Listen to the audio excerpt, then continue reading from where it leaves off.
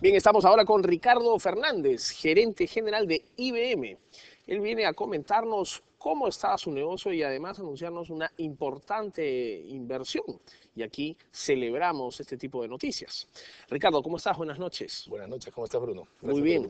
Gracias por venir acá. Tú ya casi estás en categoría de, de caserito, ¿ah? De caserito. ¿Cómo han ido las cosas en este último año? Muy bien, hermano, muy bien. Afortunadamente, eh, no solamente el país fue bien, nosotros nos ha ido bastante bien y a propósito de lo que decías, hemos redoblado las inversiones en el país, tenemos una apuesta bastante fuerte, digamos, para los siguientes años. ¿no?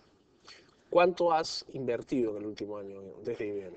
En, en, este caso concreto se trata de un data center de última tecnología, un poco por arriba de los 8 millones de dólares, ¿no? que lo acabamos de... Un data center que va a recibir a digamos, a clientes nuestros. O sea, yo, hoy día nosotros tenemos un data center sí, que, que, existe, donde hay aproximadamente 100 clientes más o okay, menos. Ok, Pero ya estamos ya... Pero, bueno, IBM pues se volcó al mundo de los servicios, ¿no? Dejó, digamos, los, los, fierros, por así decirlo, Exacto. y se fue al mundo de los servicios. Principalmente, ¿qué tipo de servicios están soportados en este data center? Me imagino, relacionados con cloud computing. Sí, son servicios de tecnología, se le llama, Correcto. ¿no? O sea, lo que, lo que haces tú ahí es le quitas al cliente su preocupación en administrar sus máquinas, sus sistemas operativos, sus aplicaciones, y yo se las administro. Nosotros uh -huh. se las administramos en nuestro centro de cómputo. Digamos. Es una modalidad de tercerización de servicios de, de tecnología. Hay cloud computing, como tú bien dices, hay el manejo de grandes eh, volúmenes de información. ¿no? Ahora, eh, este segmento o este tipo de servicios, más que segmento, eh, cada vez está siendo más especializado por, por los diferentes jugadores en, el, digamos, en la industria de cómputo. ¿no? Eh, si tú tuvieras que resumirme cuáles son las áreas de interés principales que tienes, cuáles son de oferta al mundo corporativo. A ver, es una pregunta bien interesante. El, lo que sucede es que efectivamente hay niveles de especialización a veces, pero muy puntuales, y esas son las competencias que en el caso nuestro en IBM llamamos competencias de nicho. Hay algunas compañías, como IBM, que tienen una oferta o un abanico más end-to-end, eh, -end, digamos, ¿no? que, que, tú le das eh, al cliente la posibilidad de llevarte todos sus servicios, o sea, de llevarse eh, la operación, de llevarte los discos, y de puedes llevar inclusive después procesos de negocio que van más allá de tecnología. O sea, tú te puedes llegar a llevar el proceso de compra de una compañía. Por ejemplo, una todo compañía, el procurement. Todo el procurement. Te lo llevas porque esta compañía es, una, es un banco y no le interesa. Claro. De hecho, hay bancos en, en, otros países a los cuales les manejamos los procesos de compra. O te puedes llevar eh, toda la parte de eh, manejo de escritorio muy repetitivo, esas tareas, y las optimizamos y le reducimos costos, o sea, eficiencia en operaciones. Entonces, IBM en este caso, tenemos muchísimos competidores, pero ningún competidor en todo el espectro de, de, de, de la oferta que tenemos nosotros, digamos. ¿no? Entonces, en tecnología, en, en, en, el data center, es una parte, pero hoy día eh, vamos más allá, porque tecnología, algunos componentes empiezan a comoditizarse. Sí, claro. Y cuando Cada se más, ¿no? comoditizan, más rápido, además. ¿no? y, y, en la historia, eh, para quienes de alguna manera han, han seguido a, a, esta compañía en la historia, todos los componentes que se van comoditizando, se nosotros los vamos vendiendo. Claro. Los vamos vendiendo. Su última gran venta, las impresoras. Las impresoras. Bueno, hace poco vendimos también los puntos de venta. Tenemos los puntos de Toshiba. Ah, sí. ¿Eh? Interesante, ¿no? ¿Y cómo, cómo han ido caminando estos compradores con sus marcas, bueno, hoy cambiadas, ¿no? Lenovo, por ejemplo. Muy bien, muy bien, porque son compañías de otro perfil. Son compañías que son buenas en eso, son compañías que son buenas en el manejo de volumen, en el manejo de margen pequeño, correcto, en el manejo de distribución. De, de distribución. ¿no? Nosotros hemos estado todo el tiempo en el mundo del valor. O sea, IBM desde que se inventa, hace 100 años, tú le vas tomando una foto cada 20 y es una compañía diferente es una compañía distinta. Se reinventa y se reinventa y se reinventa. Y se reinventa. Pero bueno, los primeros este, 99 o 95 Ajá. estuvieron al lado de las máquinas, ¿no? Seguimos estando al lado de algunas, de los servidores grandes, claro, seguimos pero, estando ahí. Pero digamos, ¿qué te dicen los siguientes 20? Claro. Quizá ya no van a haber máquinas en el es, portafolio. Es ¿no? probable, porque fíjate tú, y esto es información pública, eh, antes eran efectivamente el noventa y tantos por ciento de nuestro revenue, y ahora cualquier compañía eh, del perfil nuestro, eh, las máquinas, como tú le dices, son el veintitantos por ciento del, del revenue mundial. Y los servicios entre servicios de tecnología y servicios de consultoría o de procesos son más de la mitad de los ingresos de la compañía, en una compañía de 100 billones de dólares. ¿Quién va a ser un competidor de aquí a 10 años más eh, agresivo en el mundo de IBM? ¿Google o Xerox? A ver, vamos a tratar de sacar la bolita. Pero Eh, entiéndeme para dónde voy, ¿no? Eh, más Google, o Más sea, Google más. Google o Amazon, digamos, ¿no? Que es, que es todo el tema de cloud computing.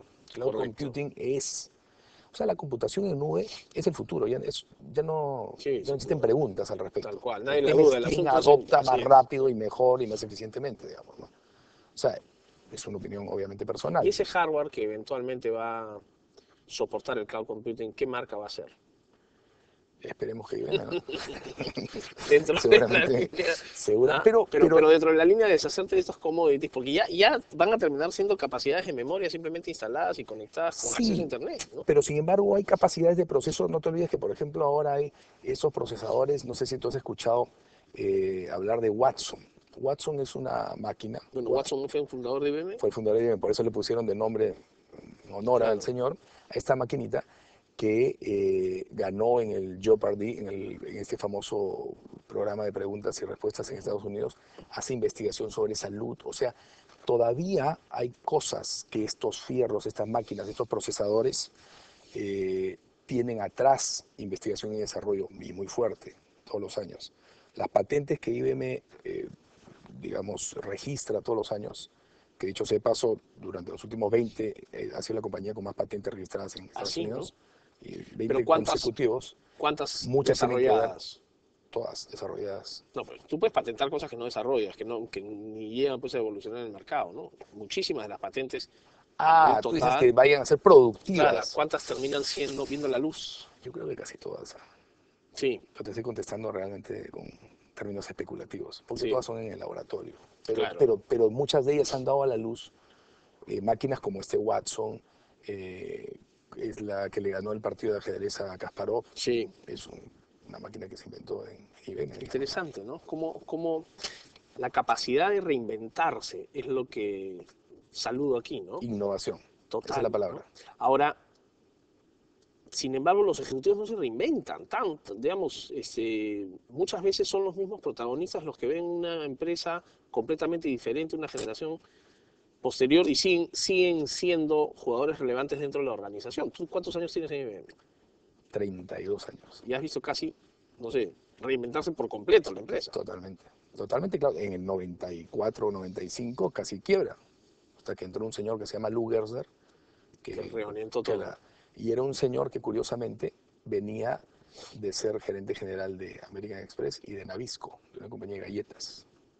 Mira tú. Entonces necesitabas un... Bueno, pero American Express viene del mundo de servicios, ¿no? Sí, sí, Bueno, ahí y por por ahí eso ahora mix. somos más servicios. Claro, ¿no? claro. Interesante, interesante. Y este centro, regresando a la noticia importante de inversión, 8 millones de dólares me dijiste, ¿no? Aproximadamente. Sí, aproximadamente. ¿Los tienen ahí en, en La Molina? En La Molina. Es un, se levantó un edificio nuevo eh, y es curioso porque, digamos, como te acabo de decir, tengo 30 años IBM, yo era operador de computadoras cuando el Puta, centro de cómputo, tú, ¿no?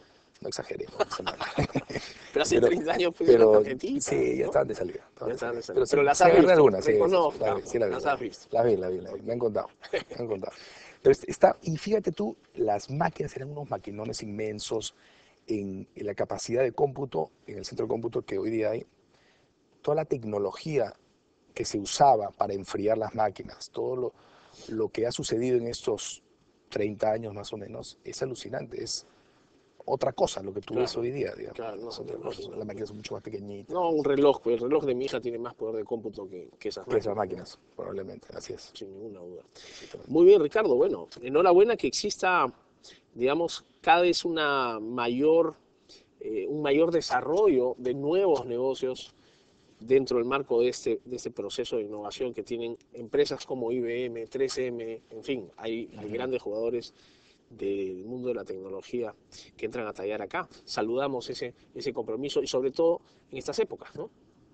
Sí, en estas tanto- épocas que es ayuda, importante, es importante apostar, es importante, eh, digamos, em- empresas que hacen eh, innovación se encargan también de hacerle la vida a la gente más fácil, ¿no? O sea, por ejemplo, en el caso nuestro, el caso de ciudades inteligentes, toda nuestra propuesta de hacer el uso del agua inteligente, el uso de, de la electricidad, eh, lo que nosotros llamamos Smarter Cities, ¿no? que es una propuesta sobre la cual se apoya nuestra estrategia de crecimiento ahora, digamos, ¿no? O sea, a través Claro, de que la innovación, el abastecimiento de agua en ciudades. claro, que la innovación no sea un programa de National Geographic, que la innovación sea algo que nos sirva al ciudadano a pie, digamos, práctica, ¿no? ¿no? A la En- en lo práctica, cotidiano. Smarter Traffic, el tráfico más Claro. inteligente. En una ciudad como esta, vendría muy bien, ¿no? ¿Y por dónde están, pues, este, qué- no, no has tenido muchos clientes con lo del tráfico? En Todavía. No mucho, no, todavía Por lo no que mucho, veo. sí. Muy bien, Ricardo. Te felicito y te agradezco mucho por tu participación en el programa. Por favor. Ricardo Fernández, gerente general de IBM, estuvo con nosotros, dándonos a conocer la evolución reciente de su negocio y además para festejar la reciente inversión en su nuevo centro de cómputo que ya está en plena operación. Nosotros regresamos, señores, tras una brevísima pausa. No se muevan.